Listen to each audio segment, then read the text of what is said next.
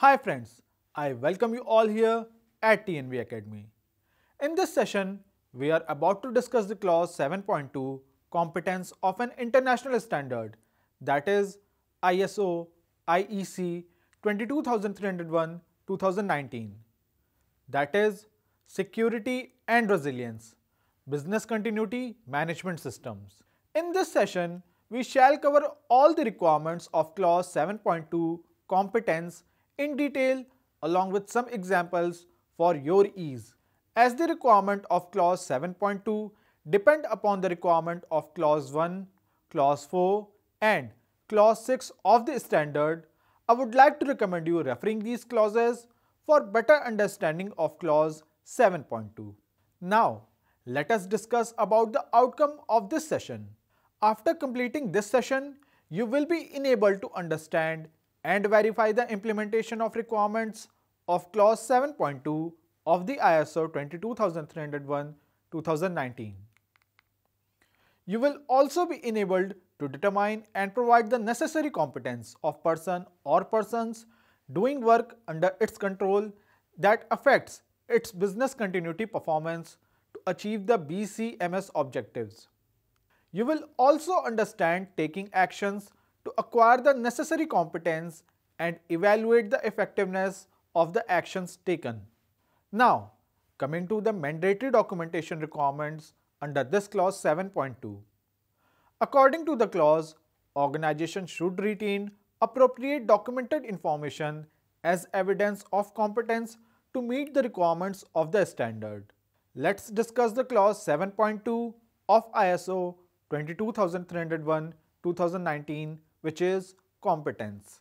Let me read the requirement of clause 7.2 first. It states, the organization shall, point 1, shall determine the necessary competence of person or persons doing work under its control that affects its business continuity performance. Point 2, shall ensure that these persons are competent on the basis of appropriate education, training or experience. Point 3. Where applicable, take actions to acquire the necessary competence and evaluate the effectiveness of the actions taken. Point 4. Shall retain appropriate documented information as evidence of competence. Here is a note. Applicable actions can include, for example, the provision of training to, the mentoring of, or the reassignment of currently employed persons or the hiring or contracting of competent persons.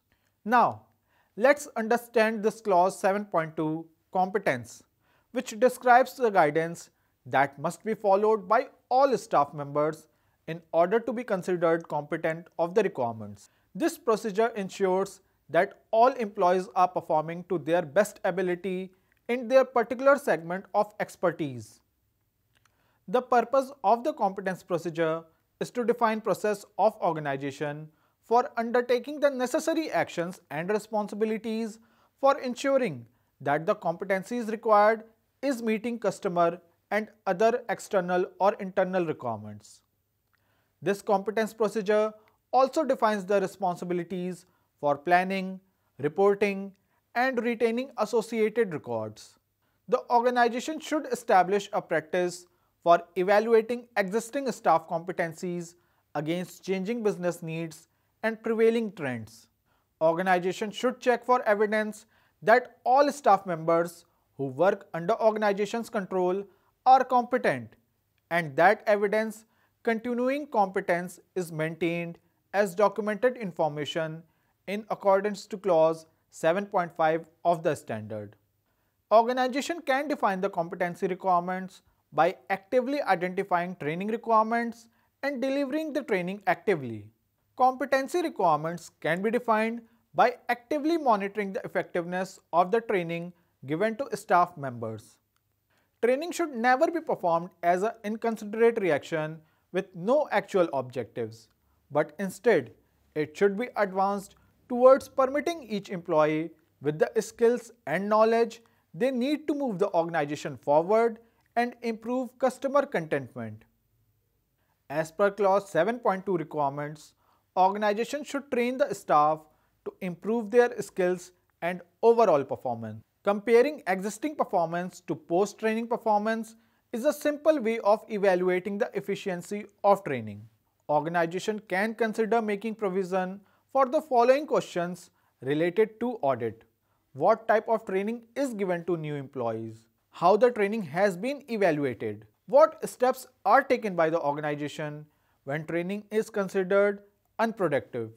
What types of training records are maintained by the organization? So friends, practicing all this information, organization can determine and provide the necessary competence of working persons under its control affecting its business continuity performance to achieve the organization's objectives. Now, coming to an important aspect of the standard, that is, practice writing non-conformity under this clause.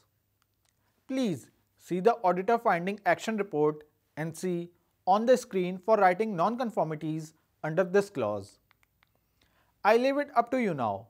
Please go through this and try to understand the various components of this non-conformance report.